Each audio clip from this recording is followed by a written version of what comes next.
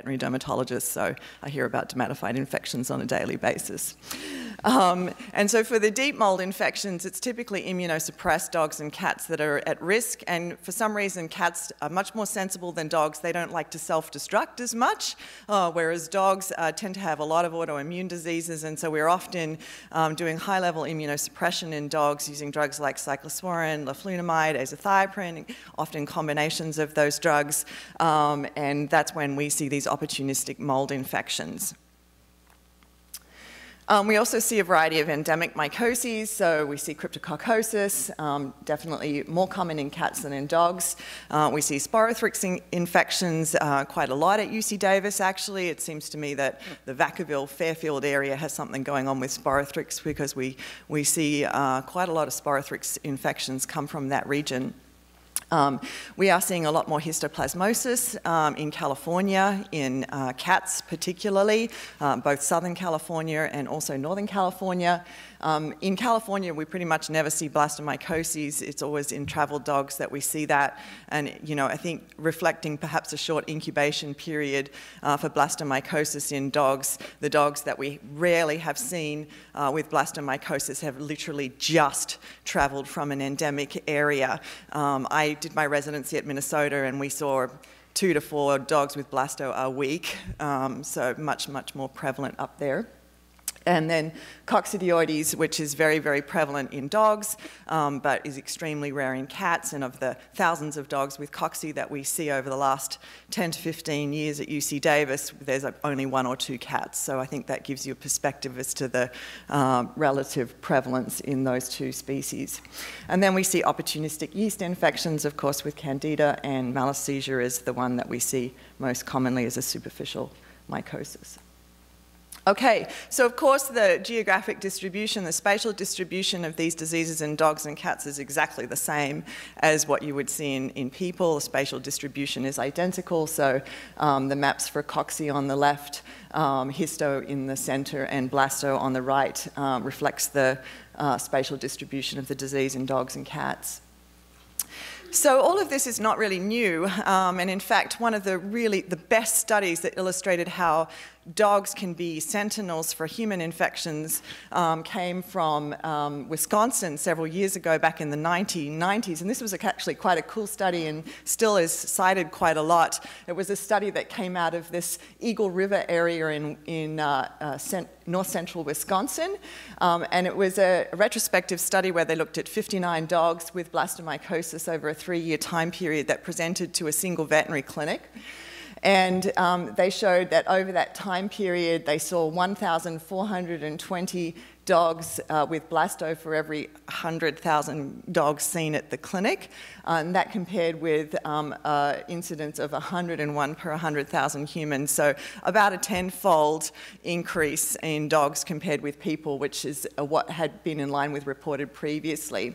And what was interesting was that 20, 21% of owners reported one or more dog or human cases at the address and three of the addresses had more than one dog affected, and that was definitely our experience in Minnesota, multiple dogs from the same household often developing blastomycosis.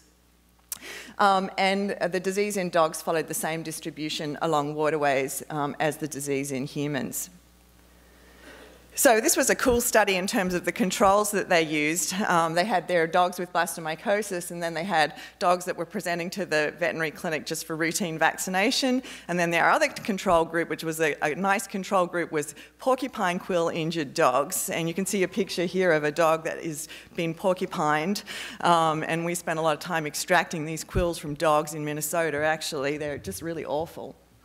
Um, but you can imagine that you know the, the quill injured dogs would be the same dogs that go outdoors and get exposed um, as the blasto dogs. So I think this really highlighted um, the importance of a good control. But you can see here the mean age of the blasto dogs was about three and a half years. Um, for the vaccinated dogs, it was older, um, but it was the same for the quill injured dogs. So again, younger adult dogs going out, getting exposed to blasto. Similarly, um, at face value, it seems like male dogs might might be more predisposed to blastomycosis when you compare them to vaccinated dogs, but same proportion of male dogs in the quill-injured dogs.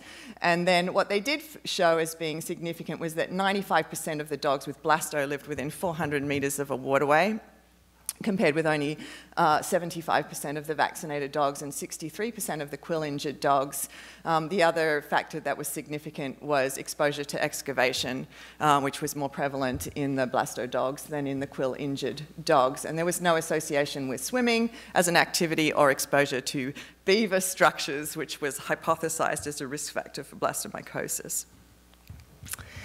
Um, so the other study that came out um, looking at risk factors for fungal infections in dogs and cats, um, potentially as a sentinel for human disease, was the study that came out of the Pacific Northwest. Um, actually, this, this, one came out of British Columbia, looking at Cryptococcus gattii infection in dogs and cats. So this is Colleen Duncan and others, and they divided risk factors. Oh, they divided risk factors into uh, environmental risk factors up here and host-related risk factors. And so the environmental risk factors that were associated with infection were soil disturbance within 10 kilometres of the residence within the last six months, and logging within 10 kilometres of residence in the last six months.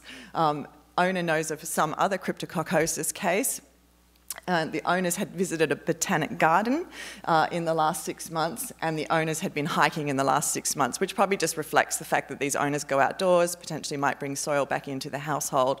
And of the host related uh, factors, unrestrained activity outdoors, which made sense, travel on Vancouver Island in the last year, um, and hunting activities are some of the examples of risk factors that they identified. Great, so that brings us to um, the study that we recently completed looking at risk factors for coccidioidomycosis in dogs. Um, this is a study that I did um, with Sharon Grazel, who's a practitioner from um, Oregon, and Beatrice Martinez Lopez, who's a spatial epidemiologist at UC Davis. And so it was a case control study. We looked at 41 dogs seen at UC Davis with coccidioidomycosis, and then we had um, twice that number of control dogs, and the control dogs were dogs that were seen immediately before or immediately after the cocci case that had had um, blood work, urinalysis done. So same reasons for coming to UC Davis, willing to do all of those diagnostic tests.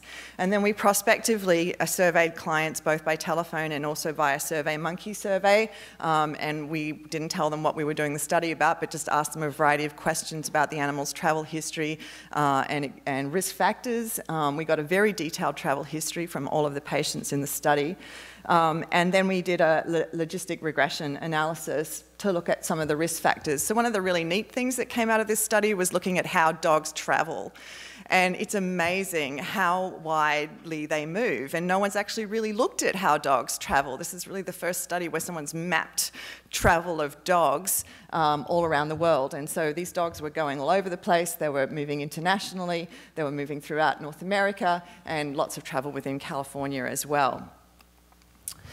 Um, and so if you look at risk factors that we identified, um, the risk factors that emerged as being significant after um, multivariable analysis were that dogs with cocci were more likely to be younger than the control dogs, uh, which made sense. But digging behaviour was a huge risk factor, sevenfold increase in risk for dogs that were known to be diggers. Um, so this um, may explain, you know, the predisposition of dogs to coccidioidomycosis from exposure. Um, similarly, strong association with travel to Arizona or California Central Valley, male sex, and um, this is um, uh, borderline significant, but camping trips um, negatively. So places where cocci is, people don't tend to go camping. um, and then some of the things that we looked at that were not ultimately retained in the multivariable model were age of home, property size, proportion of the property with exposed soil, amount of time spent outdoors, going to dog parks, hiking, working and sporting activities. So then we were able to create, um, using the model, a risk map for coccidioidomycosis in dogs and county-based risk map. And um, you can see this is the risk map over here. Um, and then we were able to compare this um, to the incidence map for coccidioidomycosis in humans in 2012, which was really the best data that we had available for comparison. We didn't have a, um, a risk map as such um, for uh, humans, but we had this incidence map. And there was a very strong correlation between the two maps, except for this little area here, um, hotspot up in uh, north central California. And so we think it's uh, worthwhile keeping an eye on this area because it may be an area that we see more human disease with uh, human coccidioidomycosis. And so, you know, if you go to the uh, outbreak in, or the appearance of cases now in, in uh, eastern Washington, it's funny because, of course, there were cases identified in humans, and when they went backwards and looked at the veterinary diagnostic laboratory, sure enough, they identified two dogs and a person um, back uh, in between 1997 and 2012. Um, and interestingly, when I first started at UC Davis, a vet from Eastern Washington sent me a slide from a dog that he thought had coccidioidomycosis. And he said, this is weird, this dog's never traveled, but I think this is a spherule. And I looked at the slide and I was like, I think that's a spherule too. And that was the end of that. So probably should have paid more attention. So um, the other thing I want to do, and I'm kind of diverging away, I'm, i know we're not in an aspergillus session here, but I do want to talk a little bit about our research work with aspergillus fumigatus um, in dogs because um, it's really quite interesting what we've uncovered. So we see aspergillus fumigatus in dogs causing um, a couple of different clinical syndromes. The main one is sinonasal aspergillosis, and this is a very common disease. It's very, very frustrating to treat and to diagnose.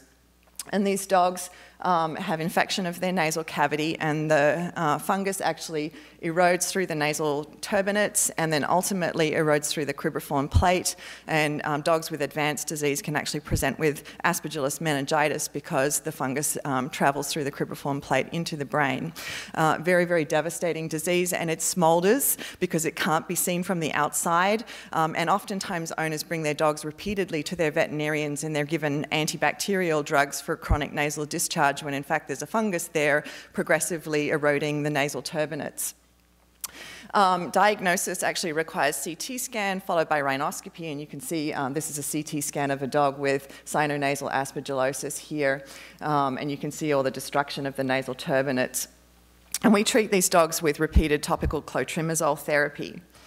So we know that um, German Shepherds are predisposed to this disease, um, although we see a variety of different breeds with it. And we know that long-nosed breeds are predisposed, and we also see sinonasal aspergillosis in dogs following chemoembolization of nasal tumours, which we've been doing at UC Davis, and following radiation therapy to the nasal cavity.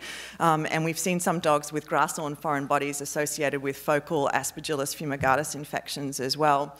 Um, and so we were interested in what other risk factors were present, especially, especially spatial uh, risk factors um, and environmental risk factors.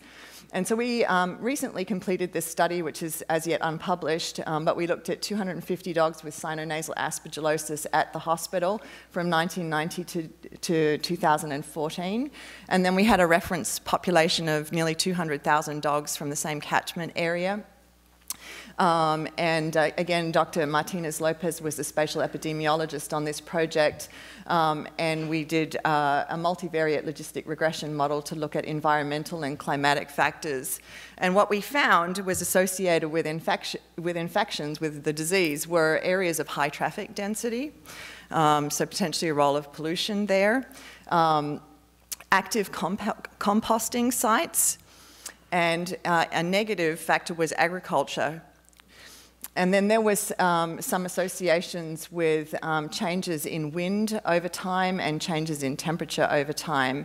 But we looked at 29 other variables, including soil type, soil moisture, pesticide use, ozone, precipitation, fire history, vegetation type. So we looked at lots and lots of different environmental um, factors, um, and they never made it to the final model. So you can see um, the maps here of the disease on the top left. So this is where the dogs with sinonasal aspergillosis came from. And you could sort of, if you use your imaginoscope, see an association with the composting sites, um, which is very, very fascinating to me. And then this is uh, traffic density, uh, wind difference, temperature difference, and then the agricultural areas, remembering they had a, a negative association.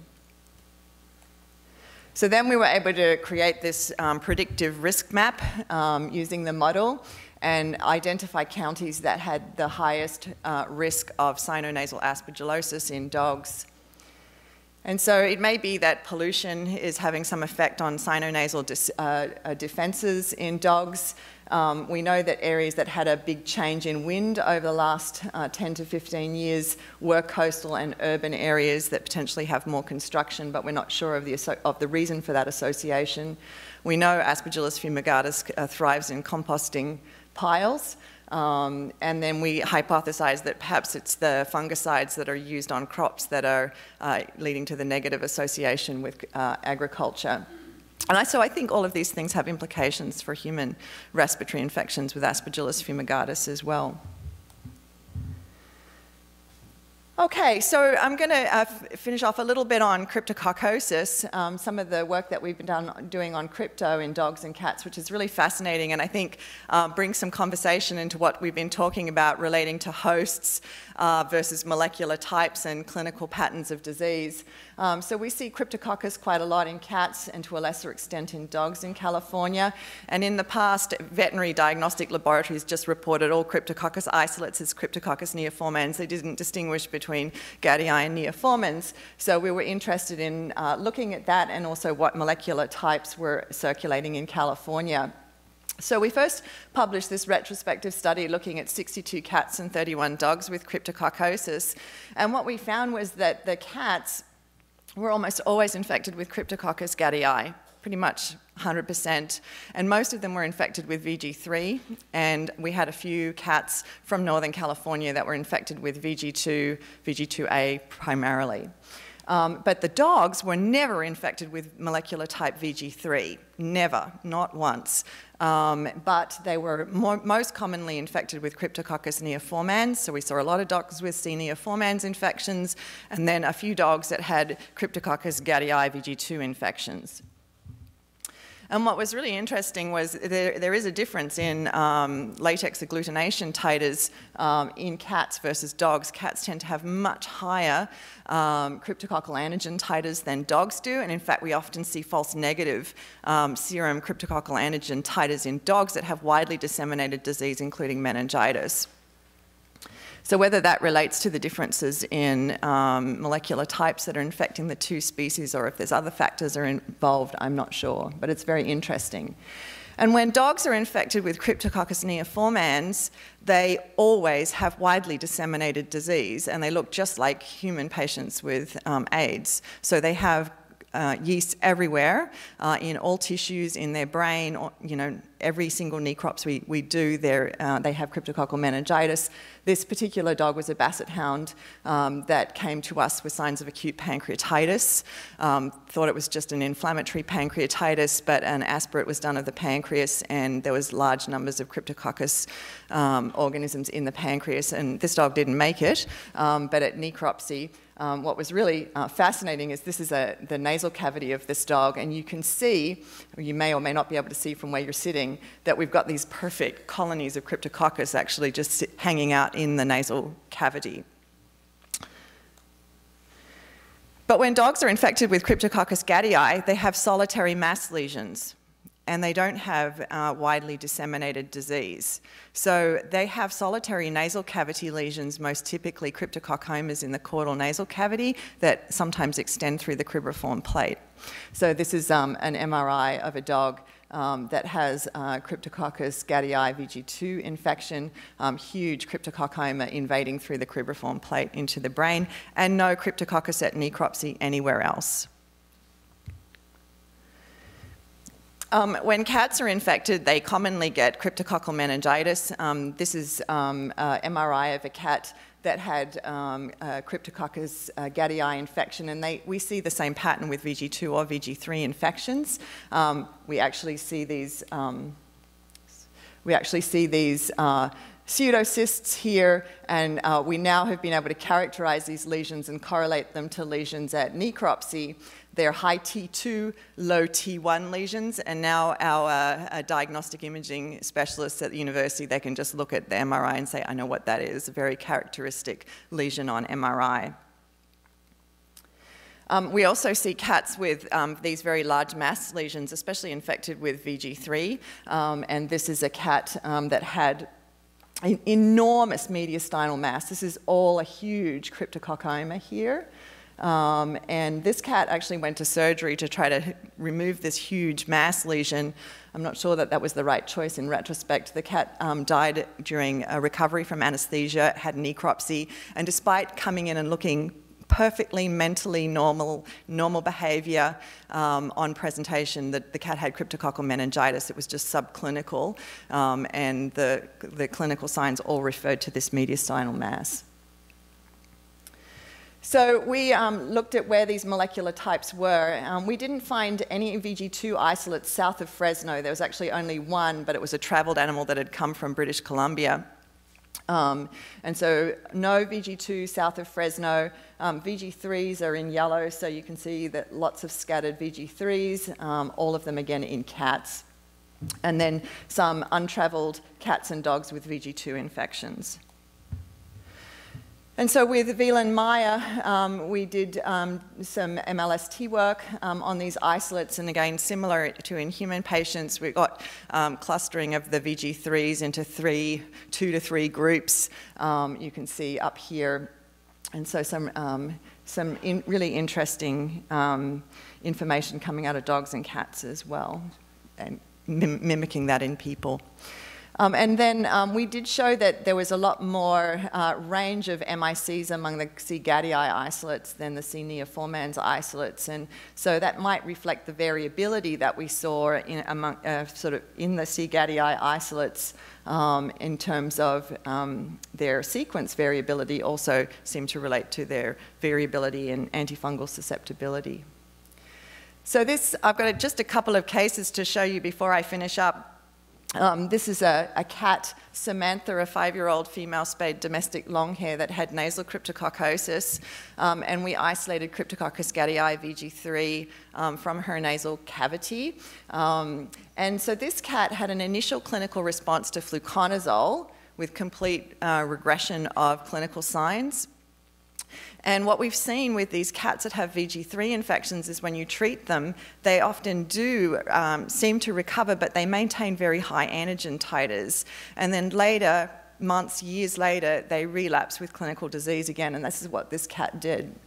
So the first isolate that we obtained from um, this cat, you can see the MICs there. Um, in particular, I just want to point out the fluconazole MIC of 0.5 and then this cat subsequently had a poor response to treatment with fluconazole. She was treated with amphotericin B, then itraconazole, and then posaconazole, but this mass just continued to enlarge and became ulcerated. Um, and so then we were subsequently able to obtain another isolate from the cat's uh, nasal cavity in the face of uh, antifungal drug therapy, and now the MIC to fluconazole was at 256 which is really interesting that it was pretty much just fluconazole that had that dramatic increase. And so we worked with um, George Thompson and um, Angie Gelli to look at perhaps the mechanism of resistance um, in this particular fungal isolate. Um, and so um, in uh, Dr. Thompson's lab, it was shown that serial exposure of the first isolate to drug-free media required 87 transfers um, for the isolate to lose resistance. Oh, it should be number two, sorry. And then ex exposure of the first isolate, I got those back to front, to fluconazole-containing media led to resistance in just 10 transfers. Both of the isolates were uh, genetically equivalent based on MLST. Um, and then um, using quantitative P uh, PCR, uh, we were able to show that there was an increased expression of ERG11 uh, and PDR11 genes. So 1.9-fold um, increase in copy number of ERG11 and 2.6-fold increase in copy number of PDR11. So um, potentially that is the mechanism of resistance in this particular case. So this is just another case of Berman here, um, diagnosed in September of 2011 with cryptococcosis, nasal skin, oral lesions, and cryptotiter, initially 1 to 32,000. This cat was started on fluconazole, did really well, all lesions resolved, but then another um, cryptococcal antigen titer was still high despite resolution of disease. Um, again, March the following year, still positive titer, and then the cat came back three months after that, still doing well clinically, but now the antigen titer is 32,768. And so what we've seen is ultimately these cat, cats relapse. So that seems to be what we're seeing with VG3. But when you look at VG2 isolates, this is a cat, Tuthra, that had um, cryptococcal meningitis with neurologic signs, and I've actually got a little video of this cat here. So this cat has bilateral mydriasis, dilated pupils, mentally very obtunded. Um, the cat had just had uh, a CSF tap done, but this is exactly how it looked when it first came to see us, very depressed. And an MRI was done, and again, these high T2, low T1 lesions, a little bit of peripheral contrast enhancement here in this lesion in this cat's brain, and then CSF tap, lots of uh, cryptococcus. Um, and then we subsequently did molecular typing. Uh, and Meyer did that, and it was uh, VG2A. And uh, then uh, cryptococcal antigen titer 1 to 32,000, pretty typical for a cat. This cat was treated with deoxycholate, amphotericin B, fluconazole. We do give these cats prednisolone, we do give them glucocorticoids for a very short period of time, and it really does seem to help them. Um, usually they get worse neurologic signs if you don't give them steroids, and many of them die during that period of time. So we do also treat briefly with glucocorticoids. Um, and so this is day six following treatment. Still doesn't look very happy, but um, able to hold his head up and uh, um, definitely mentally more aware. And then this is at three months um, post treatment, and you can see this cat looks like a healthy domestic short hair. Um, and then, so Tuthra came back to see us one year um, post treatment, still on itraconazole actually, and the titer was 1 to 20.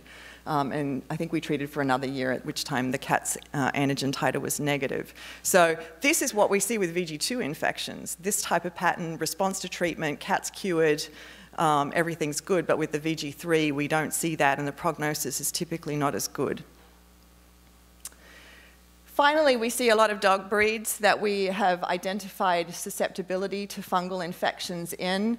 Um, and when we did our Cryptococcus study, um, one third of the dogs with cryptococcosis were American Cocker Spaniels. So we got all excited about doing a study at looking at the genetics of cryptococcosis in American Cocker Spaniels, and then we never saw another American Cocker Spaniel with cryptococcosis. So I think they all died um, of cryptococcosis, um, and then they were breeding some more resistant dogs.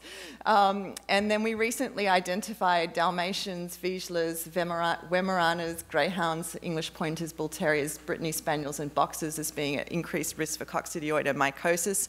But Dalmatians and Vizslas stick out like a sore thumb. We see a lot of Vizslas and Dalmatians. Um, and then we know that dogs with disseminated aspergillosis, two thirds of them are German Shepherd dogs, and of those, those German Shepherds, nearly 80% of them are female, so there's some association with sex as well as breed there. So we're just about to embark on a, a genome-wide association analysis um, with a, a, geneticist, Danika Bannasch. Um, and so uh, Jonathan Dear is working with myself and uh, George Thompson, Danika Bannasch, um, to look at the susceptibility to this disease in German Shepherds. So all of this work has been done with the help of a lot of other people, and I, I want to acknowledge them all here. Um, this list isn't exhaustive, but um, Beatrice Martinez Lopez, George Thompson, Angie Gelli, um, and lots of other people at UC Davis, um, team at University of Sydney, and our work has been supported by the Centre for Companion Animal Health at UC Davis. This is a picture that my son drew. Henry, when he was six, he drew a picture of Cryptococcus gattii, which I thought was very cool for a six-year-old. so thanks very much. I really appreciate the opportunity to come talk to you about